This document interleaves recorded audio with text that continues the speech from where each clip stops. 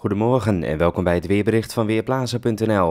Op deze satellietfoto kunnen we zien dat het vanochtend op veel plaatsen nog flink zonnig is, maar de eerste wolken zien we ook al boven Noord-Frankrijk liggen en die bereiken het zuiden van het land later in de ochtend. Vanmiddag gaat de bewolking vanuit het zuiden uit geleidelijk aan verder toenemen, maar van tijd tot tijd is er ook nog steeds wel zon. En daarbij wordt het zomers tot lokaal tropisch warm.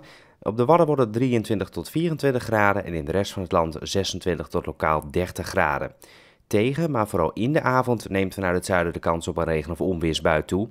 De wind is vandaag zuidelijk en is zwak of matig, kracht 2 tot 4 en draait in de avond naar het zuidwesten.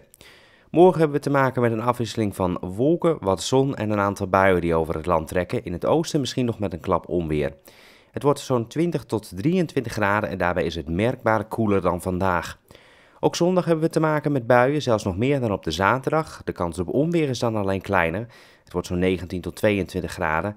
En ook maandag en dinsdag valt van tijd tot tijd een bui, tussendoor wat zon. En met 19 tot 21 graden blijft het aan de koele kant. Ik ben Ben Langkamp van Weerplaza.nl.